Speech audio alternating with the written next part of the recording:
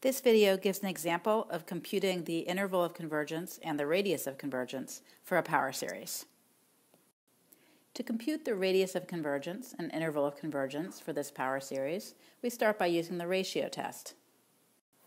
So we need to find the limit as n goes to infinity of the absolute value of a sub n plus 1 over a sub n, where the a sub n's are the terms. For this power series, we can compute a sub n plus 1 by just plugging in n plus 1 everywhere we see an n in this expression. So that's negative 4 to the n plus 1 times x minus 8 to the 2 times quantity n plus 1 divided by n plus 1. We divide all that by the a sub n term, which is just negative 4 to the n, x minus 8 to the 2n over n, which I've just copied from the formula here. Now I'm going to simplify. I'll flip and multiply. And now I'm going to rearrange terms so that corresponding terms are on top of each other. So I'm going to write negative 4 to the n plus 1 over negative 4 to the n times x minus 8 to the 2 quantity n plus 1, that's the same thing as 2n plus 2 over x minus 8 to the 2n. And then I'll write the n and n plus 1, so that's n over n plus 1. Once I cancel terms, I get the limit of negative 4 times x minus 8 squared times n over n plus 1. Now as n goes to infinity, n over n plus 1 is going to 1.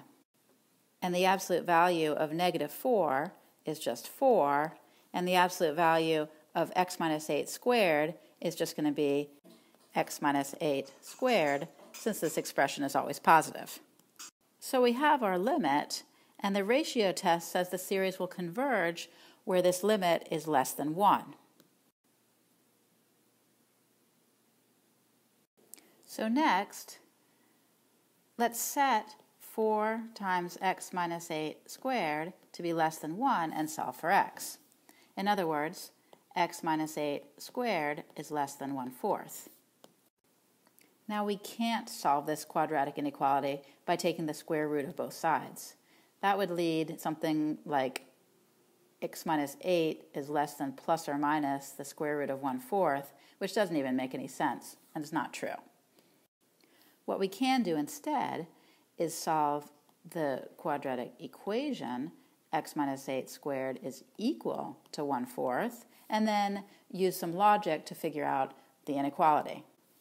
So now that we have an equation sign, we can take the square root of both sides to get x minus 8 is, is equal to plus or minus the square root of 1 fourth. In other words, x minus 8 is plus or minus 1 half. So in other words, x is equal to 8 plus 1 half or 8 minus 1 half. That's either 17 halves or 15 halves. Now let's go back to the inequality that we're interested in.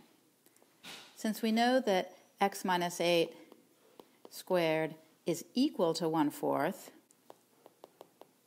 at x values of 15 halves and 17 halves, we can test to see whether x minus 8 squared is bigger or smaller than 1 fourth by plugging in values in between these numbers.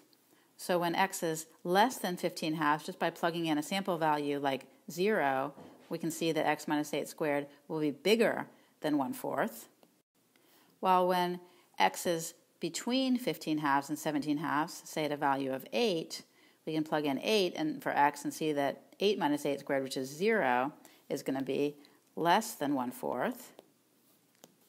And finally, plugging in a value of x over here, maybe something like 10 for x, we're going to get a value of x minus 8 squared that is, again, bigger than 1 fourth.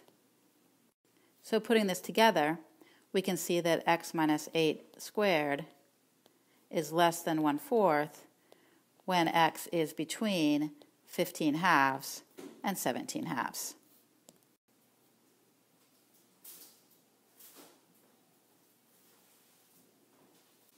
So by the ratio test, our series converges for x between 15 halves and 17 halves. The ratio test also tells us that the series diverges when this expression is greater than 1. In order, other words, x minus 8 squared is greater than 1 fourth. In other words, for x values less than 15 halves, or greater than 17 halves. Now, the only thing we still need to figure out is what happens at the endpoints of the interval 15 halves to 17 halves. Recall that our series was given by this formula. So when x is equal to 15 halves, we have negative 4 to the n, 15 halves minus 8 to the 2n, over n, which is equal to negative 4 to the n, negative 1 half to the 2n over n, which I can rewrite as negative 1 to the n times 4 to the n times negative 1 to the 2n over 2 to the 2n divided by n, which is the same thing as negative 1 to the n, 4 to the n, negative 1 to the 2n, divided by n times 2 squared to the n. Since 2n is always even, negative 1 to the 2n is always equal to 1. And since 2 squared is 4, this 4 to the n on the denominator cancels with the 4 to the n on the numerator. So I'm left with the alternating harmonic series, which we know converges.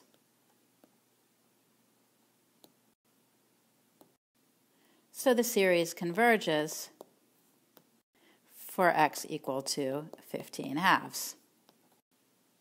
Now when x equals 17 halves, we can go through the same computation, just using 17 halves in place of 15 halves. That changes the negative 1 half here to a positive 1 half.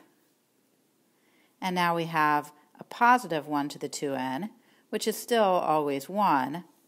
Everything else works the same, and so we still have a convergent series.